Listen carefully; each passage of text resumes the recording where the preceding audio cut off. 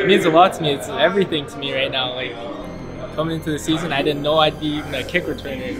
Not until week three that I started returning kicks. But this is crazy. It's a surreal moment for me. It means a lot.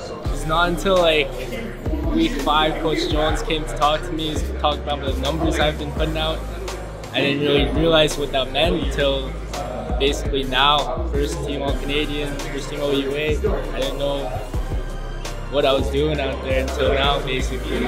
Honestly, being around all these elite athletes, I feel like I belong here, you know? Like all the hard work I put in, all the dedication I put into this, I feel like I deserve to be here with all around the elites of this league right now. I feel like I belong here.